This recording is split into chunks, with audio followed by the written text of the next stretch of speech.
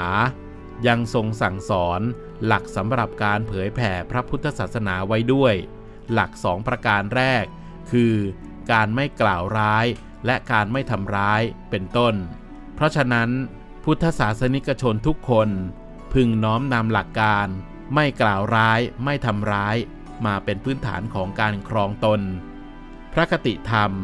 สมเด็จพระอริยวงศาคตยาน สมเด็จพระสังฆราช สกลมหาสังฆปรินายก ประธานเมื่อวันที่ 8 กุมภาพันธ์ 2563